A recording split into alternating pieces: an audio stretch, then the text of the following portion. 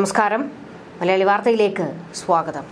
സിറിയയിൽ പോരാട്ടം അതിശക്തമായി തുടരുകയാണ്. ഡമാസ്കസ് പിടിച്ചടക്കാനുള്ള നീക്കത്തിലേക്ക് വിമതർ ഇപ്പോൾ മുന്നേറ്റം നടത്തിക്കൊണ്ടിരിക്കുകയാണ്. എന്നാൽ ഇവരുടെ മുന്നേറ്റത്തിന് തടയിട്ട് റഷ്യ അതിഭയങ്കരമായ ആക്രമണം തുടങ്ങി വെച്ചിരിക്കുകയാണ് ഇപ്പോൾ സിറിയയിൽ അലപ്പോ നഗരത്തിന്റെ തന്ത്രപ്രധാന മേഖലകൾ വിമതർ പിടിച്ചെടുത്തതോടെ റഷ്യൻ സഹായത്തോടെ സിറിയൻ സൈന്യം തിരിച്ചടിക്കുകയായിരുന്നു. സിറിയയിലെ നാലാമത്തെ പ്രധാന നഗരമായ ഹമയിലേക്കുള്ള വിമത മുന്നേറ്റം തടഞ്ഞാണ് സൈന്യം പ്രത്യാക്രമണം കടുപ്പിച്ചിരിക്കുന്നത്.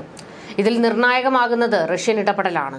സിറിയൻ പ്രസിഡന്റ് ബഷർ അൽ അസദിന്റെ ആവശ്യപ്രകാരം റഷ്യൻ സൈന്യം ശക്തമായ ആക്രമണമാണ് നടത്തുന്നത്.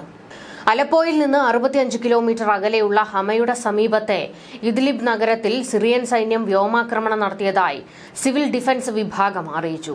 ശനിയാഴ്ച രാത്രി നടന്ന ആക്രമണത്തിൽ നാലു പേർ കൊല്ലപ്പെടുകയും അൻപത്തിനാല് പേർക്ക് പരിക്കേൽക്കുകയും ചെയ്തിട്ടുണ്ട്. ഇദ്ലിബിലും സമീപ പ്രദേശങ്ങളിലും റഷ്യൻ വ്യോമാക്രമണം നടന്നതായി Al Ikhbariya news network report ചെയ്തിട്ടുണ്ട്. തുടർച്ചയായ അഞ്ച് വ്യോമാക്രമണങ്ങളാണ് റഷ്യയുടെ നേതൃത്വത്തിൽ നടന്നത്. ഇദ്ലിബിനടുത്തുള്ള അഭയാർത്ഥി ക്യാമ്പുകളെ ലക്ഷ്യമിട്ടായിരുന്നു ഈ ആക്രമണം.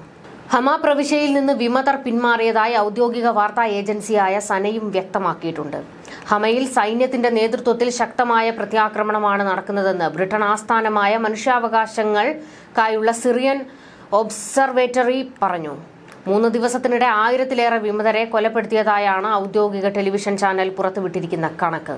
വിമതരുടെ മുന്നേറ്റം രൂക്ഷമായ സാഹചര്യത്തിൽ സിറിയൻ പ്രസിഡന്റ് ബാഷർ അൽ അസദുമായി ചർച്ച നടത്താൻ ഇറാൻ വിദേശകാര്യമന്ത്രി അബ്ബാസ് അരാഗ്ജി തലസ്ഥാനമായ ഡമാസ്കസിലെത്തിയിട്ടുണ്ട്. സിറിയൻ സർക്കാരിനെയും സൈന്യത്തെയും ഇറാൻ പിന്തുണയ്ക്കുമെന്ന് അദ്ദേഹം വ്യക്തമാക്കി. എത്ര ശക്തരായിരുന്നാലും ഭീകരവാദികളെയും അവരെ പിന്തുണയ്ക്കുന്നവരെയും പരാജയപ്പെടുത്തുമെന്ന് അസദ് പ്രഖ്യാപിച്ചു.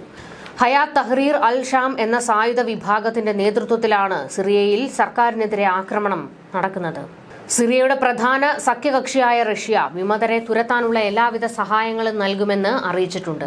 ഇതിന് പിന്നാലെയാണ് പുടിൻ അയച്ച സംഘം വലിയ രീതിയിൽ വിമതരെ കൊന്നൊടുക്കിക്കൊണ്ട് മുന്നേറുന്നത്.